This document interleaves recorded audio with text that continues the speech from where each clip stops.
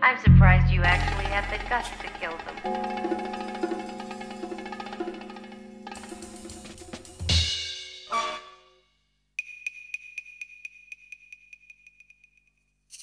I guess humiliation will make you do a lot of things, won't it?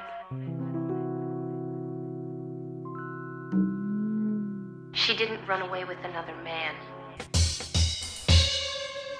You killed them.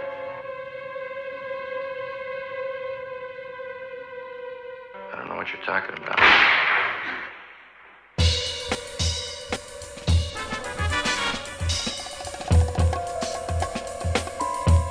I saw the whole thing.